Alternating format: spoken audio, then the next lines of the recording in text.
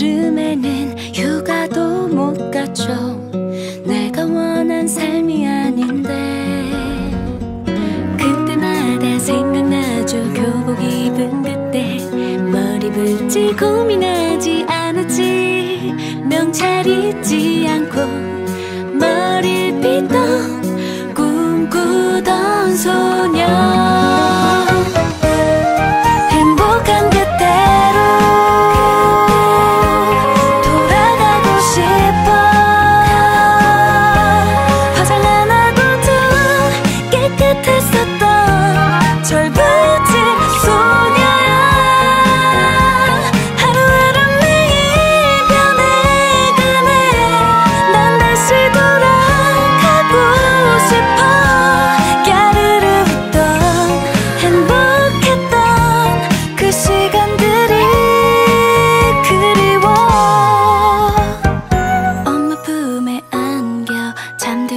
잠들었지 그땐 좁았어도 아늑했던 우리 집.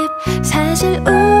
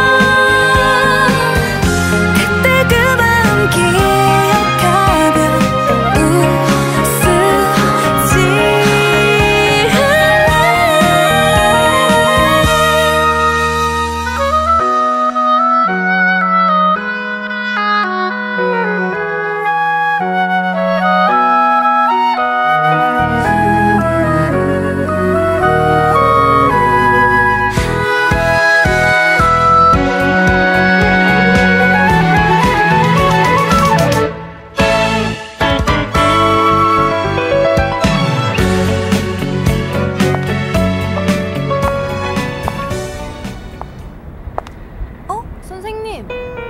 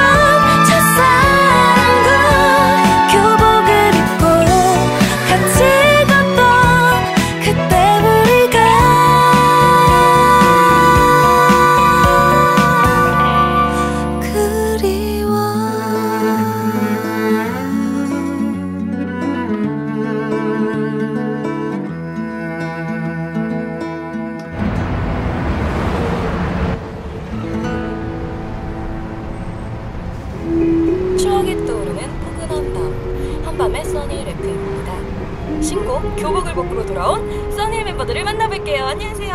안녕하세요. 써니입니다. 네, 써니의 신곡처럼 추억 속의 그리운 모습을 떠올리는 두 분은 어떤 게 떠오르세요? 옛날에 그랬다는 거. 어, 저는 친구들이 진짜 가장 보고 싶어요. 친구들? 네. 그 어렸을 때 친구들이랑 요즘도 저는 가끔 통화를 하거든요. 근데 진짜 오랜만에 통화하는 건데도